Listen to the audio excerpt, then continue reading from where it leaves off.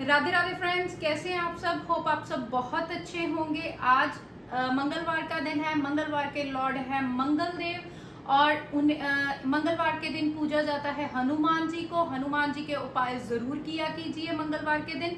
कुछ भी नहीं कर सकते तो संध्या काल में शाम के समय आ, पीला प्रसाद या ऑरेंज प्रसाद बदाने का लेकर आप मंदिर में ज़रूर जाए। इससे भी आपका भाग्य उदय होगा अब मैं टॉपिक जो विशेष टॉपिक है शुरू करने जा रही हूँ वो है सूर्य देव के बारे में। सूर्य देव के बारे में मैं आपको बताऊँगी कि सूर्य देव अगर किस घर में होते हैं तो क्या प्रभाव देते हैं? आपकी कुंडली में कौन से घर में सूर्य देव बैठे हैं तो आपको क्या प्रभाव देंगे? आप अपनी कुंडली देखें एनालाइज करें और देखें कि आपका जब भी सूर्य फ़र्स्ट हाउस में होते हैं तो ये लोग बहुत दिल के अच्छे होते हैं। इनकी हाइट लंबी होती है और ये आ, हमेशा आ, अपने बहन भाई का साथ देते हैं। अगर इन्हें चोट भी लगे बहन भाई से कुछ धोखा भी मिले तब भी ये उनका साथ देते ही देते हैं। इन लोगों के हमेशा बेटा फ़र्स्ट संतान बेटा होती है। और दूसरी चीज़ जब भी इनके बच्चा होता है तो आधी रात के बीच में होता है मोस्ट प्रोबेबली 80 परसेंट तो आधी रात के बीच में होता है, वैसे तो भगवान को पता है। लेकिन हम जब कुंडली एनालाइज करते हैं, तब उसमें इतनी सी बातें हम एनालाइज कर सकते हैं। उसके बाद जो ये लोग होते हैं, ये बहुत मेहनती होते हैं, बहुत परिश्रमी होते हैं, और ये अपने फादर के हमेशा कहने में रहते हैं, और इन, इनके फादर इनकी बर्थ के बाद इनके फादर की बहुत प्रमोशन होती है। अपनी माता का सुख मिलता है इन्हें भी, और ये बच्चे अपनी माता पिता की सेवा करने वाली संतान होते हैं। तो आपके लिए उपाय क्या है? आपको अपना करेक्टर ठीक रखना है, सबसे पहला उपाय। दूसरा उपाय, आपको अपने कर्मों से या अपनी जो इनकम है, उसमें से कुछ ना कुछ दान करते रहना है। ये जिसका भी सूर्य फ़र्स्ट हाउस में बैठा है उसके लिए ये दान है और वो लोग कैसे होते हैं ये उसके बारे में। अब हम बात करेंगे सेकंड हाउस में अगर सूर्य हो तो वो जब भी सूर्य सेकंड हाउस में हो तो आपको इन चीज़ों का ध्यान रखना चाहिए। आपको जर जोरू या ज़मीन का कोई भी इलीगल काम हो कोई भी इसके संबंधी आपकी लड़ाई झगड़ा चल रहा हो तो आपको उससे बचना चाहिए। क्योंकि अगर आप उसमें पड़ेंगे तो आपका भविष्य नष्ट हो जाएगा। अगर आप इन तीनों चीज़ों से जर जोरू और ज़मीन से दूर रहेंगे। किसी लेडी के विवाद में, किसी ससुराल की आपके साथ कोई लड़ाई झगड़ा है, इस विवादों से दूर रहेंगे तो आपको ज़िंदगी का जो भी सुख है पैसे का, वाहन का, कुछ भी जो सुख है तो आप मान सकेंगे। आपके लिए ये टिप है कि आपको इन चीज़ों से दूर रहना है। और जो ये व्यक्ति हैं, इनको बहुत पैसा बहुत पैसा होता है, प्रॉफिट्स होते हैं। अगर ये तीन चीज़ों से दूर रहते हैं। लेकिन जब शुक्र जब सूर्य सेकंड हाउस में होते हैं तो ये योग बनाता है, शुक्र पितृ दोष योग बनाता है। इसके साथ आपकी वाइफ का हेल्थ रिलेशंस आपके हेल्थ रिलेशंस रहते ही रहते हैं हेल्थ प्रॉब्लम्स रहती ही रहती हैं वाइफ को। तो उसके लिए आपको उपाय क्या करना है? उसके लिए आपको शुक्रवार के दिन ची, वाइट चीज़ों का सफ़ेद चीज़ों का दान ज़रूर करते रहे इससे आपकी वाइफ की हेल्थ अच्छी रहेगी। और एक मेन उपाय जो है सेकंड हाउस में अगर आपका सूर्य है तो मेन उपाय ये है कि आपको आ, आ, कुछ छिलके वाले बादाम और कुछ एक नारियल लेना है छिलके वाले बादाम लेने हैं उसके ऊपर सरसों का तिलक लगाकर उसे मंदिर में चढ़ाकर आए इससे आपका सूर्य शांत रहेंगे और आपको सूर्य से रिलेटेड जो भी प्रॉब्लम आएँगी जब भी सूर्य आपका थर्ड हाउस में होता है तो आपके लिए एक ये विशेष टिप है कि आपको अपना करेक्टर सही रखना है। अगर आपका करेक्टर सही है तो आप इतना पैसा कमाते हो अब इतना पैसा कमाते हो कि आप अपने पुश्तों के लिए भी वो पैसा छोड़ छोड़ के जाते हो। चाहे आपकी फैमिली आपके पिता ने या आपकी जो भी इंसिस्टर्स हैं उन्होंने आपके लिए कोई धन नहीं छोड़ा लेकिन आप अपनी कमाई से इतना धन कमाएँगे कि आपके पास धन भरा रहेगा। इसलिए आपके लिए यही टिप है कि प्लीज़ आप अपना अगर फोर्थ हाउस में सूर्य बैठा है तो माता के घर में सूर्य बैठा है तो आपको आप, आपकी माता का सहयोग पूरा मिलेगा। और उसके बाद आप जो होते हैं आपको उस आपकी जो फोर्थ हाउस है वो पृथ्वी से रिलेटेड है धरती से रिलेटेड है वो आपके मदरलैंड है। इसलिए अगर सूर्य उस घर में बैठता है तो आपको वहाँ रहने नहीं देगा। आपको फॉरेन ट्रेवल्स कराएगा आपको फॉरेन यात्रा कराएगा या आपको फॉरेन में सेटलमेंट दिलाएगा और वहाँ से आपको बहुत लाभ मिलेगा। सो so, आपका आ, इसके सा, साथ ही साथ जब फोर्थ हाउस में सूर्य होता है तो आपका जो मंगल होता है वो वध हो जाता है। तो अगर आप चाहते हैं कि आपकी फॉरेन ट्रैवलिंग में कोई प्रॉब्लम कोई रुकावट ना आए तो आप मंगल के उपाय ज़रूर कीजिए। मंगलवार के दिन चना गुड़ मंकीज को दान कीजिए। इससे आपका जो भी प्रॉब्लम आएगी जो भी फॉरेन के रिलेटेड आपकी प्रॉब्लम सेटलमेंट के रिलेटेड आपको प्रॉब्लम्स आएँगी तो आपको उससे निजात मिलेगी और आपका स्मूथली जीवन चलेगा और माता का सहयोग अवश्य मिलेगा। माता के सहयोग से भी आप बाहर जा सकते हैं। लेकिन आपको मंगल के उपाय इसमें ज़रूर फिफ्थ हाउस में जब सूर्य देव बैठते हैं, अगर टेंथ हाउस में आपके बृहस्पति बैठे हैं और तीसरे हाउस में आपका शनि बैठा है तो ये जो हो ये योग बनाएगा कि आपकी दस मैरिजेस होंगी। आपकी हर मैरिज खराब होएगी। आप जितनी मर्ज़ी कोशिश कर लीजिए, आपकी मैरिज में प्रॉब्लम आती ही रहेगी। अगर टेंथ हाउस में बृहस्पति नहीं है तो आपके आपके बेटा होगा, आपकी संतान सबसे पहली बेटा होगा और वो एक मान सम्मान वाला बच्चा होगा, वो आपका भी मान सम्मान बढ़ाएगा और आप, आपको बहुत ऊपर तक लेके जाएगा। गवर्नमेंट के रिलेशंस होंगे, उसके गवर्नमेंट के साथ रिलेशंस होंगे और वो आपकी ज़िंदगी में मान सम्मान की बढ़ोतरी करेगा।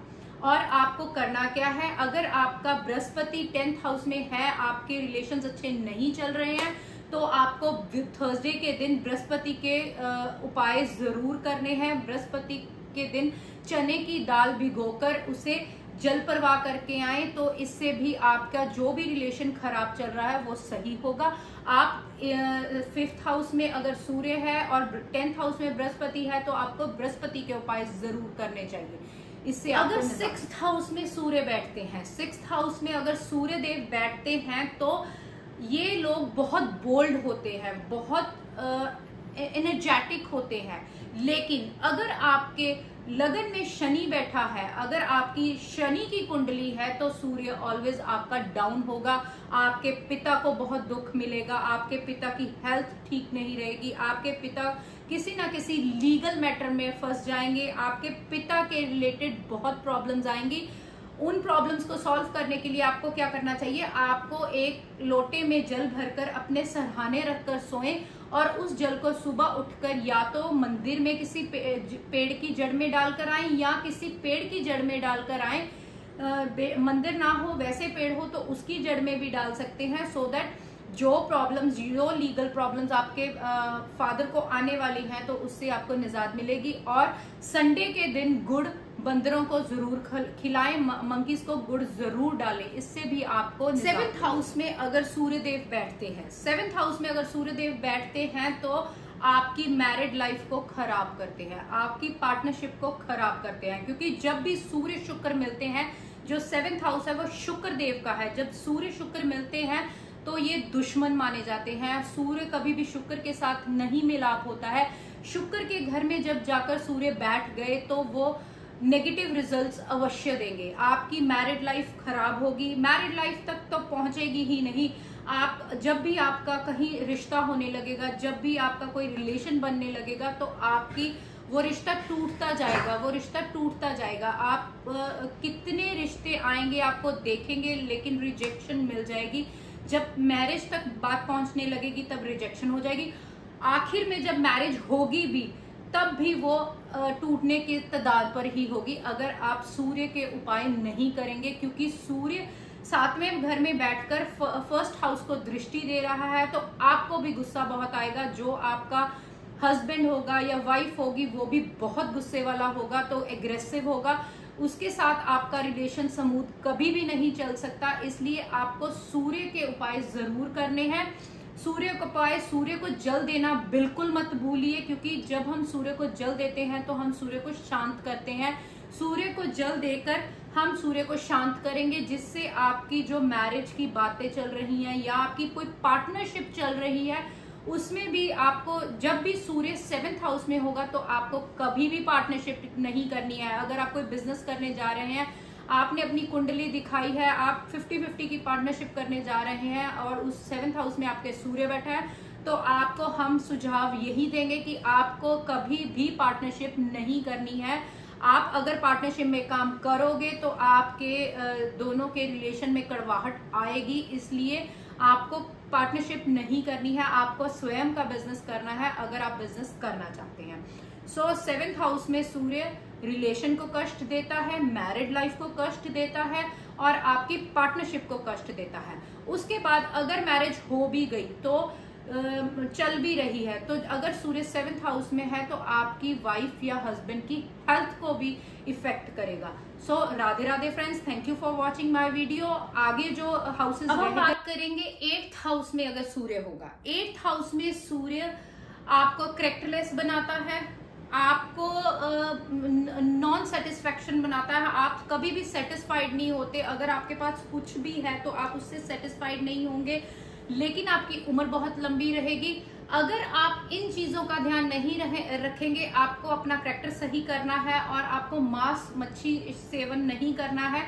अगर इन बातों का ध्यान नहीं रखेंगे तो आपको कोई लंबे टाइम के लिए बीमारी, जो जब सूर्य एट्थ हाउस में होता है तो लंबे टाइम की बीमारी भी देकर जाता है।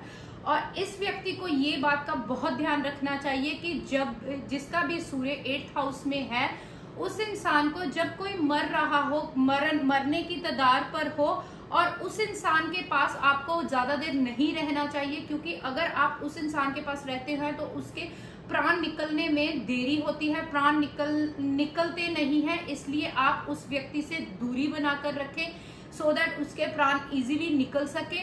एट्थ हाउस वाले व्यक्तियों के लिए यही सुझाव है। और आपको उपाय क्या करना है? आपको संडे के दिन जल्दी उठना है और संडे के दिन आपको गुड़ और गेहूँ का दान गौशाला में करना है। उसके बाद नाइन्थ हाउस में अगर सूर्य हो तो क्या करता है?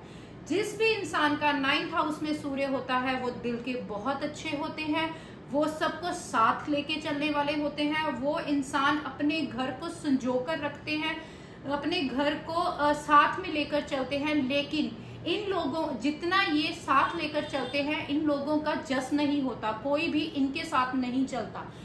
परंतु ये लोग कैसे होते हैं? ये लोग इतना धन कमाते हैं, इतना धन कमाते हैं कि इनकी अगर साथ पुछते बैठकर भी खाएँ, तब भी वो धन खत्म नहीं होगा, और ये लोग बहुत ज़्यादा सॉफ्ट हार्टेड होते हैं। लेकिन ये लोग एग्रेसिव भी बहुत होते हैं। इनको डिप्लोमेटिक होकर चलना चाहिए। ना तो बहुत एग्रेसिव होकर चलना चाहिए ना ज़्यादा पोलाइट होकर। अगर ये पोलाइट होकर चलते हैं तो कई लोग इनका फ़ायदा ज़रूर उठाते हैं। अगर ये लोग बहुत गुस्सा होते हैं तो वो गुस्से में अपना काम बिगाड़ लेते हैं। सो so, इनके लिए टिप यही है कि इनको अपना डिप्लोमेटिक होकर चलना चाहिए ना बहुत गुस्सा दिखाना चाहिए और बहुत ज़्यादा पोलाइट भी नहीं होना चाहिए। स्मूथली चले तो ये लोग कहीं से कहीं अपना सक्सेस ले सकते हैं क्योंकि ये लोग मेहनत से वाहन घर प्रॉपर्टीज़ सबका सुख ये मानते हैं। सो so, आप प्लीज़ ये बातों का ये टिप्स का ध्यान रखें जिसका भी हाउ नाइन्थ हाउस में सूर्य है वो इन चीज़ों का ज़रूर ध्यान रखें। उसके बाद हम बात करते हैं टेंथ हाउस में जिसका भी सूर्य है। जिस भी इंसान का टेंथ हाउस में सूर्य होता है और फोर्थ हाउस में शुक्र होता है तो वो इंसान के या तो फादर की डेथ बचपन में हो जाती है इंसान के फादर की डेथ बचपन में ही हो जाती है या उसके फादर किसी ऐसी बीमारी से जूझते हैं जो बहुत कष्टदायी होती है।